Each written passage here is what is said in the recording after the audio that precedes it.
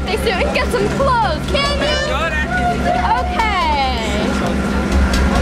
He likes water.